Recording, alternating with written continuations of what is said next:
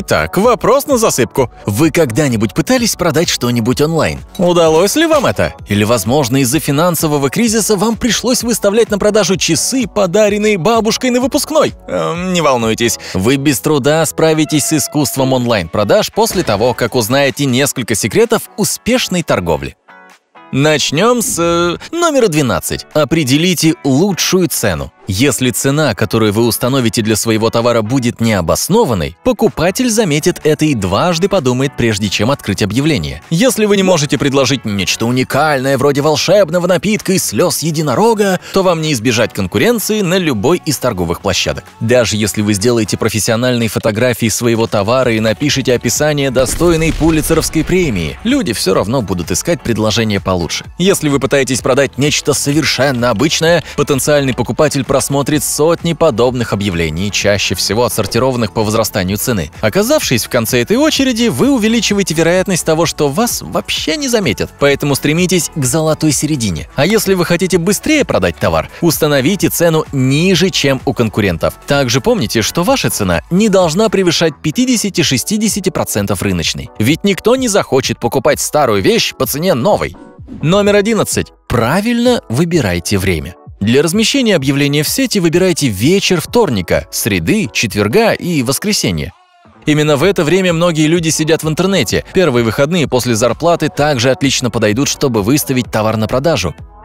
Пытаясь продать что-то на интернет-аукционе, помните, что торги, которые заканчиваются после полуночи, неэффективны. Участники аукционов обычно активны в последние часы, и далеко не каждый из них откажется от сна ради покупки вашей камеры. Постарайтесь рассчитать все так, чтобы торги закончились в промежуток с 7 до 9 часов вечера. В это время активность в интернете находится на пике. Не стоит устраивать аукцион в пятницу и субботу вечером, так как многих людей просто нет дома. Номер 10. Помните про сезонность. Когда бы вы стали искать лыжи? В июле или ноябре? Или, например, покупать летние вещи в октябре или в мае? Конечно, вопрос актуальный, если вы не живете в тропиках. Здесь есть логика. У каждого товара есть подходящее для продажи время. Возможно, придется все спланировать и немного подождать, но это абсолютно оправдано. Поторопившись продать сезонный товар не вовремя, будьте готовы получить за него гораздо меньше денег. Практичные компьютерные аксессуары, автотовары и подобные вещи не зависят от времени продаж. Номер 9. Создайте профиль, заслуживающий доверия. Конечно, люди скорее купят товар у того, кому доверяют. Поэтому придумайте простой и понятный логин. Имейте в виду, что Анна Смит 95 звучит лучше, чем пушистый котенок 95. Если вы планируете продавать однотипные товары из одной категории, то можете включить их название в свой логин. Будьте вежливы с покупателями, тогда они оставят о вас положительный отзыв. Если вы только начали работать на сайтах вроде eBay, то можете повысить свой рейтинг, купив вещи у других продавцов и написав им положительный отзыв. Это будет прекрасной инвестицией. Номер 8. Добавьте бонус. Все любят подарки. Маркетологи давно используют этот трюк, чтобы продать не самые популярные товары. Подарок или приятное дополнение к заказу увеличит ценность покупки в глазах покупателя. Это также хороший метод, если на рынке у вас много конкурентов. К примеру, если вы продаете ноутбук, предложите флешку или наушники в подарок. Игрушка станет прекрасным дополнением к заказу детской одежды и так далее. Обязательно расскажите о бонусе в самом начале объявления. Номер 7. Попробуйте продать несколько вещей сразу. Этот трюк особенно хорош для одежды. Выберите несколько похожих вещей, собрав, к примеру, чудный летний костюмчик или комплект из пяти футболок для трехлетнего ребенка. Покупатели оценят возможность получить несколько вещей по хорошей цене. Номер 6. Позвольте покупателю поторговаться. Слишком низкая цена может вызвать у покупателя некоторые подозрения, например, о том, что товар неисправен или не так хорош, как вы говорите. Так что даже если вы готовы продать вещи по сниженной цене, установите более высокую, уточнив, что возможен торг. Эта расхожая фраза обычно привлекает даже тех, кто не собирался ничего покупать, а согласившись на более низкую цену, вы порадуете покупателя и одновременно получите ту сумму, на которую рассчитывали.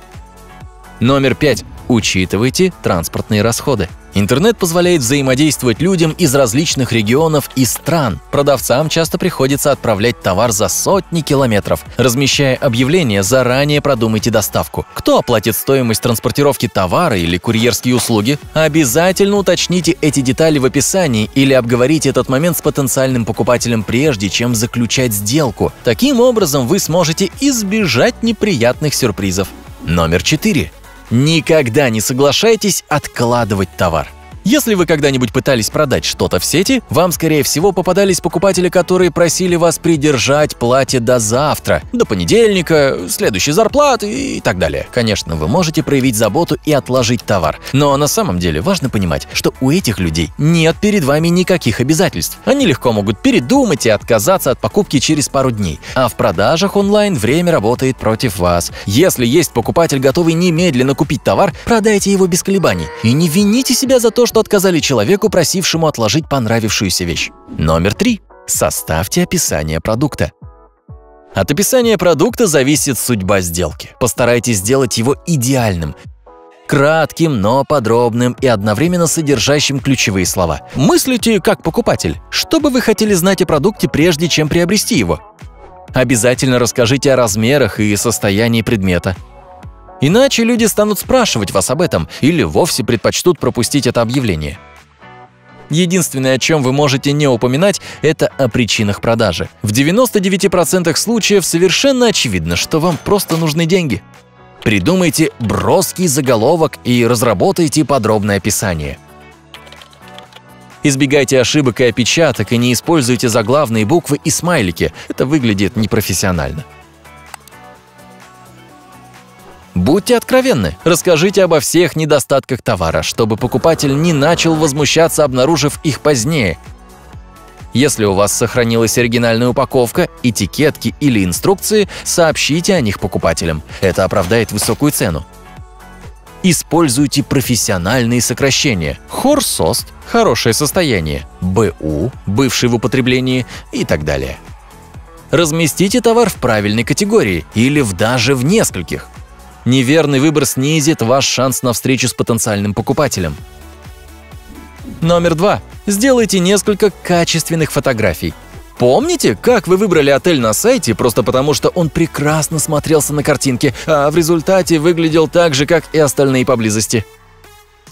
То же правило касается ваших вещей. Конечно, не стоит использовать Photoshop, но качество фото – ключ к вашему успеху. Посмотрите другие объявления и веб-страницы. Найдите вдохновение. Попробуйте сфотографировать предмет несколько раз с разных ракурсов.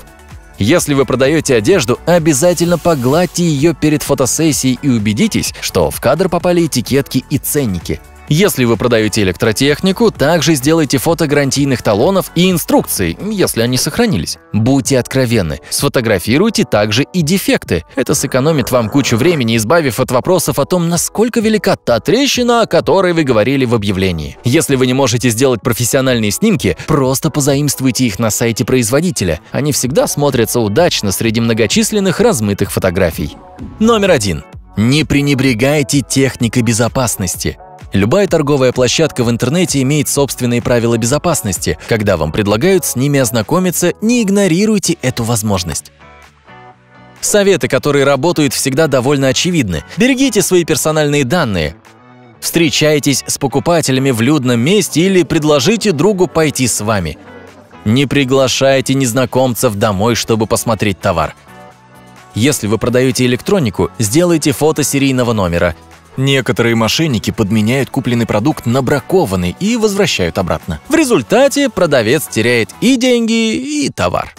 Расскажите о своем опыте. Вы часто продаете вещи в интернете? Присылайте ответы в комментарии. Если вам удалось узнать сегодня что-то новое, поставьте лайк этому видео и отправьте его друзьям. Но постойте! Вы успеете продать бабушкин мотоцикл. У нас здесь более 2000 видео для вас. Все, что нужно сделать, это выбрать левое или правое, нажать на него и наслаждаться. Оставайтесь на яркой стороне жизни вместе с Эдми.